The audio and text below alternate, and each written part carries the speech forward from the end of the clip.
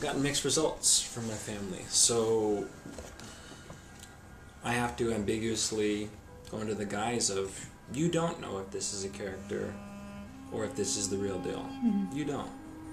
And because of your psychosis, you forced me into a shapeshifter for my own safety. Mm-hmm. So, depending on who I'm around, because I've studied energies and I read energies quickly, I know who I'm getting to deal with based on their energy level rather than what they say.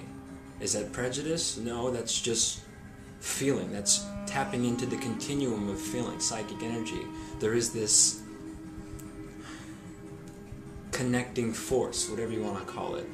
I like to refer, to it as the continuum that is more intuitive based, um, less linear. It's so it's the rational mind has gets queasy around it. How do you do that? How do you know how to do that?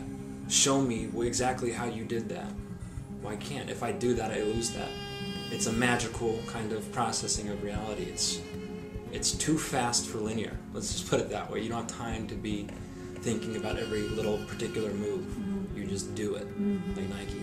Just do it. um, so You know what's interesting? I want to say about your your thing is like how it pushes people's boundaries because it's like in a way we're okay with like drag queens and we're okay with like gay people, you know, or we're okay with trans like uh, being uh, transgender and stuff like that.